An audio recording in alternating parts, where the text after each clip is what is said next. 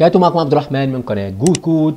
والنهاردة هنستكمل سلسلة ال advanced biostatistics على برنامج ال R هنتكلم دلوقتي عن ال logistic regression مبدئيا كده زي ما علمتك في ال linear regression regression بشكل عام أنا عايزك تبقى عارف ثلاث كلمات. association prediction و isolation association عايزين نشوف هل في علاقة ما بين أو في ترابط ما بين ال independent وال dependent prediction هل ال independent ممكن يتوقع لي حدوث ال dependent وال isolation عايزين نعزل ال confounders والعوامل الدخيلة. ده الثلاث كلمات اللي أنا عايزك تعرفهم في ال في ال regression بشكل عام. وبالنسبة لل logistic regression الفارق ما بينه وبين ال linear regression أن ال logistic regression ال dependent variable بتاعه أو ال outcome بتاعنا عبارة عن binary أو categorical variable عبارة عن variable مكون من two groups yes و no binary. zero وواحد وهكذا. يبقى عبارة عن آه two groups مجموعتين فقط. يبقى ال variable دوت عبارة عن إيه؟ two subgroups مجموعتين فقط. يبقى دي فكرة ال logistic regression وزي ما قلت لك هو بنستخدمه علشان نعمل prediction لل outcome وليكن مثلا لو أنا أعطيتك مثال لو عندي مثلا ischemic heart disease الناس اللي عندهم مشكلة في ال coronary heart disease أو أمراض الشرايين التاجية.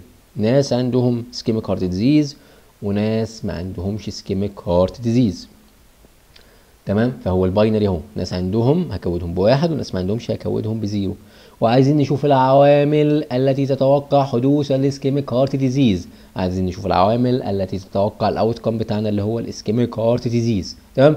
يبقى دي فكرة ال logistic regression إن هو بيستخدمه علشان أشوف ال association هل في ارتباط؟ هل ممكن أتوقع من خلال ال predictors دول أتوقع حدوث ال outcome دوت ولا لأ؟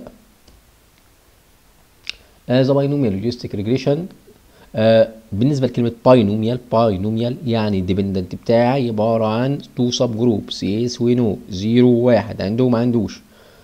آه لكن ال multinomial أكتر من two groups يعني ثلاث مجموعات وليكن مثلا عندي عايز أتنبأ بحدوث أو مثلا ال outcome أو ال dependent بتاعي مثلا mild moderate severe أو أكتر من two groups ده ال multinomial Lucidation is a predictive technique which is used when the dependent variable is يعني categorical يعني binary.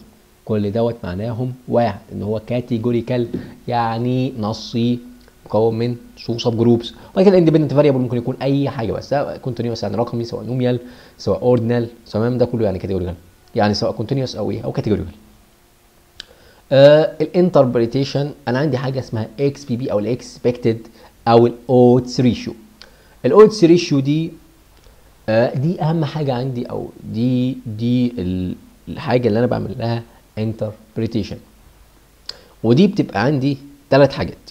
يا إما تكون أكبر من الواحد يا إما تكون أقل من الواحد يا إما تكون تساوي واحد. وبناء عليه وبناء عليه هقدر أفسر أو هقدر أقول إن العامل دوت ممكن يسبب لي في حدوث أو إن العامل دوت يقلل لي من حدوث الحاجة دي. يعني مثلا لو شفت عندك هنا مكتوب إيه؟ مكتوب لو ال exp B أو إحنا بنكتبها ال odds ratio أو ال OR is higher than واحد. لو هي أكبر من الواحد لمجموعة معينة تمام؟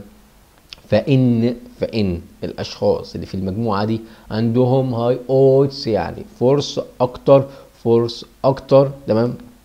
إن هم يعملوا لي إن هم يعملوا لي الحاجة دي. بالمقارنة بال reference group تاني تاني تاني تاني تاني, تاني.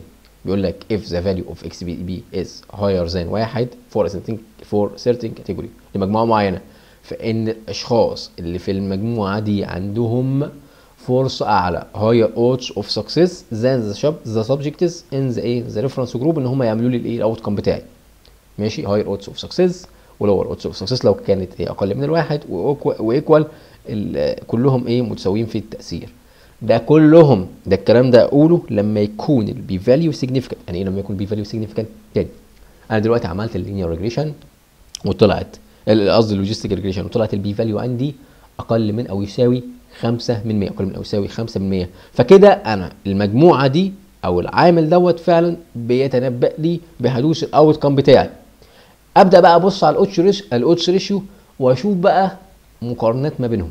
واشوف أيوه العامل دوت بيتنبأ لي بس انهي واحد في المجموعة دي هو اللي ممكن تسبب لي أكتر بالمقارنة بال reference تمام؟ يبقى دي فكرة ال odds ratio طيب ده الكلام دوت لو كانت الايه categorical group طيب لو كان ال group بتاعي اللي أنا بشوفه numerical هتقول له مثلا برضه هي اكبر من واحد واقل من واحد ويساوي واحد لو كان مثلا أكبر من واحد فالأشخاص ال score بتاعهم أعلى وليكن الاعمار يبقى الاشخاص اللي عمرهم أعلى عندهم إيه؟ greater odds of success وهنا lower odds وهكذا برضه. نفس الفكرة خالص هو هنقول إيه؟ الأشخاص اللي, اللي عندهم عمر أعلى والأشخاص اللي عندهم إيه؟ عمر أقل. تمام؟ بالنسبة بالمقارنه قصدي بالأشخاص اللي عندهم عمر أقل. يبقى الأشخاص اللي عندهم أعمار أكتر بالمقارنة بالأشخاص اللي عندهم عمر أقل. ده معناه إيه؟ أنا أنا عايز أفهمك بس إن أنت في ال categorical بتقدر تحط reference براحتك. لكن في ال numeric دايما ال reference الصغير. يعني أنت بتقارن الكبير بالنسبة للصغير. حلو حتى لو ما قلتوش بس هي دي الفكرة. أهو the values reference are the lower values تعالى بقى نشوف أنا أنا حاسس إن أنت تهت معايا في الايه في ال logistic regression بس تعالى إيه نشوف ال data. طب نشوف ال data في الفيديو الجاي عشان إيه الفيديو ما يطولش.